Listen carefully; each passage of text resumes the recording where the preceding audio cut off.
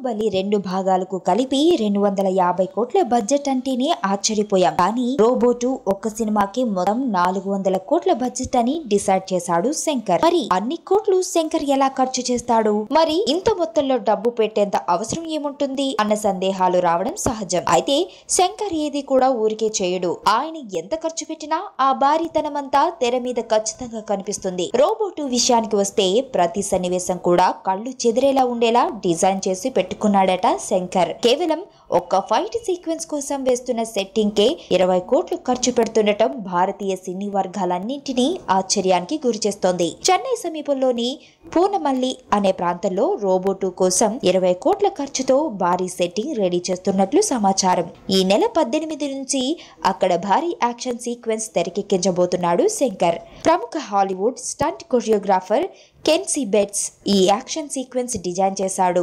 అతను ఇప్పటికే చెన్నైకి చేరుకుని ఈ సీక్వెన్స్ చిత్రీకరణ సన్నాహాలు చేసుకుంటున్నాడు.